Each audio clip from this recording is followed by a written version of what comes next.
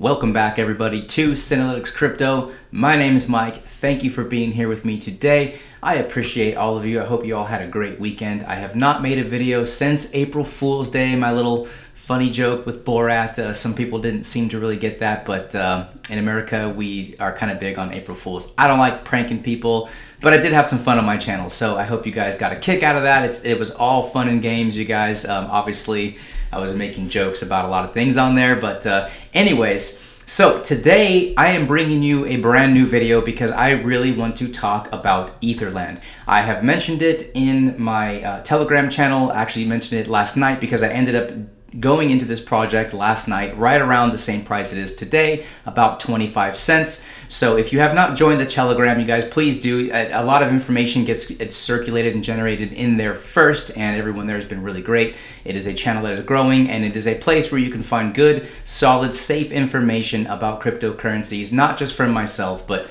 um, the many active members members in the Telegram. They do great. They do great research.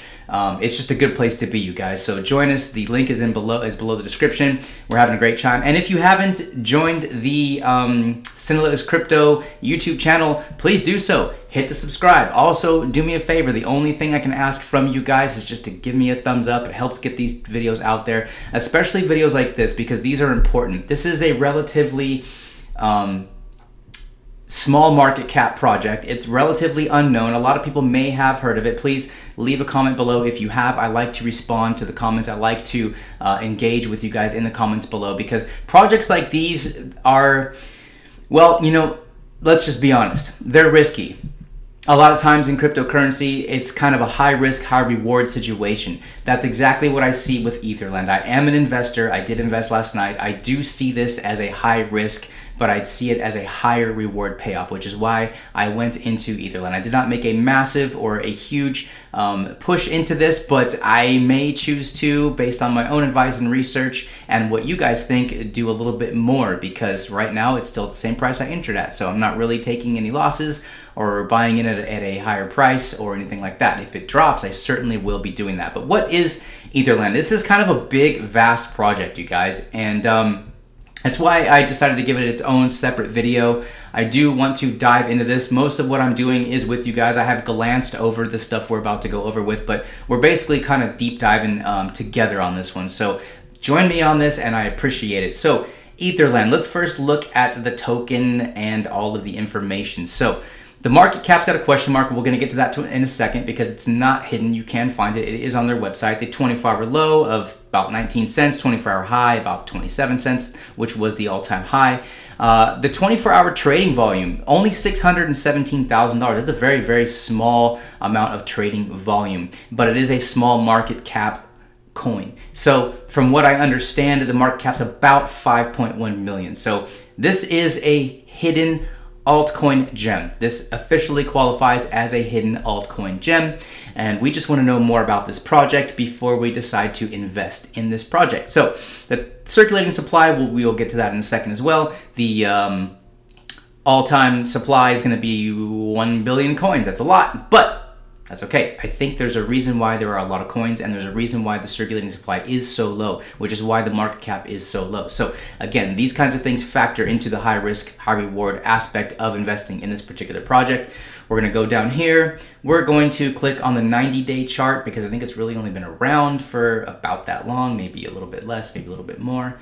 Um, so you can see this this coin has not really pumped yet. I mean, although the all-time low was March 31st, and it has almost done a 20x since then. We know how things can move in crypto, especially with a small market cap. It doesn't take a lot of trading volume in either direction to affect this. So again, that also plays um, a factor in the high risk, high reward aspect of this coin. It's only really on Uniswap. It says it's only on Uniswap. It's also on PancakeSwap according to their website. So speaking of their website, let's just go straight into it, you guys. Let's go straight into Eland Atlas. I actually like this website. Somebody just um, said a few minutes ago in the Telegram chat that they didn't like the website. I don't know what there isn't to like about this. I don't base my investments specifically on whether I like their website or not, or else there's a lot of things that I am invested in that I wouldn't invest in, and vice versa.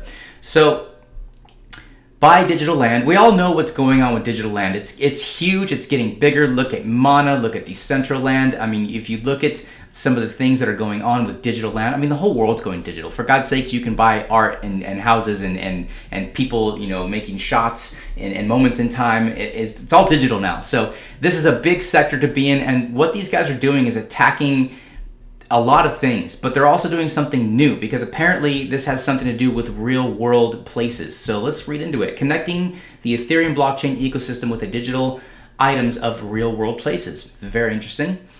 Um, let's just scroll down before we get into any of the other stuff. So you can view it on Etherscan. Um, you can see some of the details of the coin holdings and stuff like that. There um, is their address. And what they're saying is it is available on Uniswap and PancakeSwap. I don't use PancakeSwap yet.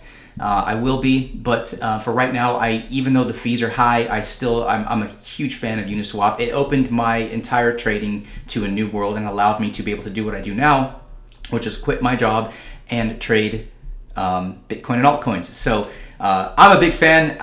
Spending Ethereum is hard for me to swallow sometimes, but I got lucky. My swap only, it's funny to say that I only got lucky and had to pay $41 in fees, but the way things have been recently, I mean, uh, some of the transactions I've made have been upwards of $100 in ETH, which is which is rough, but this was good. I'm happy with, with um, catching at the right time. So, um, obviously there's you know trade at your own risk kind of things which is good they're they're letting us know that you know these kinds of things can be rug pulls i am certainly not seeing this project as a rug pull um, a lot of people have been pretty vocal about um, the fact that there is where where did i say that information we're going to get to that in a second there it is so the circulating supply roughly 20 million out of a billion very very very low circulating supply compared to the possibility of there being a million, a billion coins. So um, people have been asking questions. They've been kind of trying to dig and find out why is there only 20 million out of a billion but we're going to get into that as well. That is certainly and was a red flag for me until i did a little bit more investigating which is why i went into this. I feel like they need that circulating supply because they've got a lot of things going on right now. It says the price it says the 24 hour value i'm very very transparent with that kind of stuff. That's great 24 hour per chain uh, change the percent um, obviously based in us dollars. Uh, so e land blockchain. Use cases creation of a secure and immutable ERC20 token on the blockchain, okay, pretty basic, as a means of purchase of unique tokens mirroring world, real world places. I haven't wrapped my mind around that concept yet, but I think we're going to get there as we explore further. As a gameplay and promotion reward for participating in the building of the world metaverse. That's cool.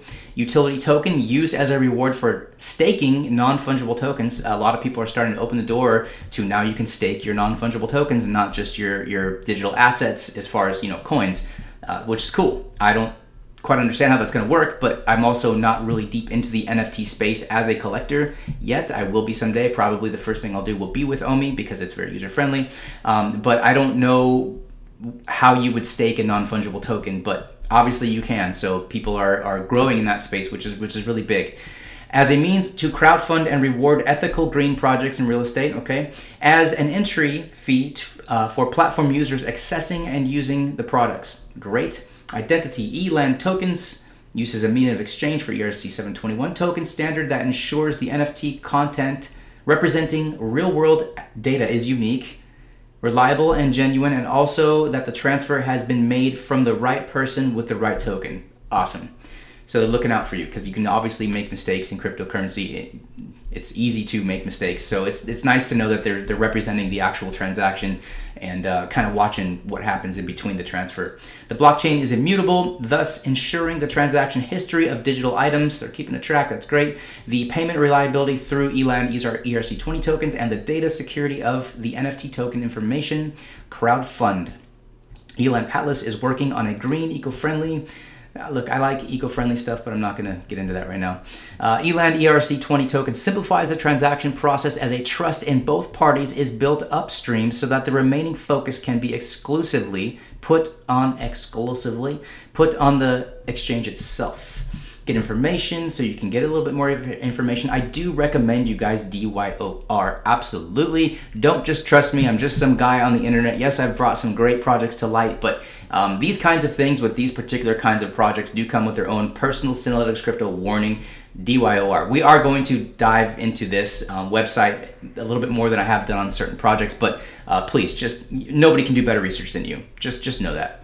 IT development, creating IT and blockchain solutions for real estate based applications. So they're, they're getting into the real estate based application market. That is huge. It's it's over it's trillions and trillions, probably hundreds of trillions of dollars worldwide, but um, just the fact that they're getting into that could be huge. I mean, like again, we're looking at something with a five million dollar market cap. It, this has room to grow. If this is a legit project and they're going to meet their their uh, timelines and all this stuff, this could be huge. It really could, which is why I took the risk versus reward and I said risk reward and I said risk reward. I, am into the reward on this. It's okay. This could go to zero and you know, okay, so I made a mistake with investing my money, but the the potential for this to grow is is pretty big. ELAND Atlas aims to push further into blockchain technology, mm-hmm, real estate, as they're creating IT investments for the process of adoption. Elan 20 tokens can also be used for many applications such as data, social media, great, or real estate sectors. As an entry fee, participation for using website platforms and applications, or for registering data as a fidelity reward. Wow, a means of purchase for non fungible tokens on NFT decentralized exchanges. Big stuff. Interoperable web and mobile applications, so they're doing some, some mobile applications coming. So a token linking three technologies. This is this is where I started to, to kind of like what I'm seeing here. Decentralized finance. We all know DeFi is huge, going to be the future of investment, in my personal opinion. Smart contracts, smart contracts, very needed when operating um, on a digital level with tokenization and all these things, smart contracts are very important. Uh, non fungible tokens. So they got the NFTs, they got the decentralized, they got the smart contracts. I like. Building the next land registry software. Interesting. The future real estate platforms will enable the users to see real estates on digital map and remotely manage them on chain while storing decentralized data. ELAND is developing map software representing a digital layer of all the existing and land registry parcels available in the world. So they're, they're, they're trying to do something with, with, they're trying to merge reality and digital world. I'm, I'm not wrapping my head around this yet, but um, that's why we do these things together, guys, because I'm sure there's somebody in here who knows a lot more about this project than I do. If you do, please join the Telegram. Keep us up to date. Please comment below. Uh, I definitely like exploring these kinds of things with you guys because uh, this this this seems to be pretty vast. This is a pretty broad spectrum project. Let's keep going. Agricultural land application. Gonna kind of skip over that. Carbon credit reward. I'm gonna skip over that. Initial allocation. Here, okay, here, here's where there's some of the answers to why there's only 20 million of 1 billion circulating tokens.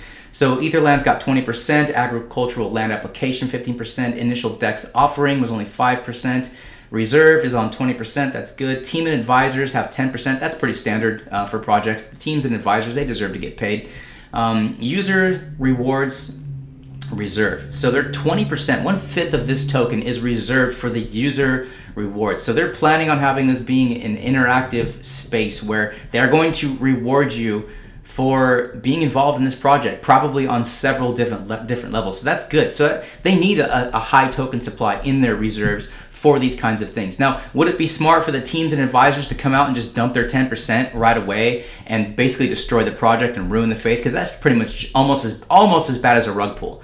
If the team's an advisor, that, that's a huge sign that you need to stay away from that project. If you start seeing people come out and dumping just because the token has appreciated in uh, price, that to me is very scammy. I don't think that that is going to be a part of this project. I just don't see the reason for that. They would really destroy any momentum that they have, and they're just really getting started. So I'm just not worried about this project becoming a uh, you know what coin. I'm, I'm pretty excited about it the more I read about it carbon credit rewards. So they're they're really pushing the narrative of the carbon credits, which which in this world today, you know, is is good. People like that kind of stuff. Um, let's go to DeFi and just see what comes up. The DeFi revolution, decentralized finance is revolutionizing traditional finance. Yes, with staking rewards and collateralized loans, guys. They're just this is going to destroy the legacy system. The legacy system being that of the, the banks and the things that have been around. It, it, all that stuff is outdated I mean, with, with Bitcoin, with the invention of Bitcoin and cryptocurrencies, now we're essentially we can be our own banks. Uh, we can send money with without borders, without limits. Nobody can can really stop us from doing it. Um, and now we can take our um, investments and we can put them into DeFi. We can earn a huge API for staking, for lending, for borrowing, uh, for just holding our coins and, and letting other platforms lend and borrow our coins. We can get some pretty good ROI. So De- DeFi is just get it's so funny last year everyone was saying defi's in a bubble defi's in a bubble yes things grow and then you know bubbles pop and they recede and then and then they get bigger and bigger i can't classify something as a bubble like nfts like defi when the future is so bright when the the sky is is the limit for these kinds of things i just can't i can see them growing and shrinking and growing and shrinking but defi is here to stay. Crypto's here to stay. Nfts are changing the game.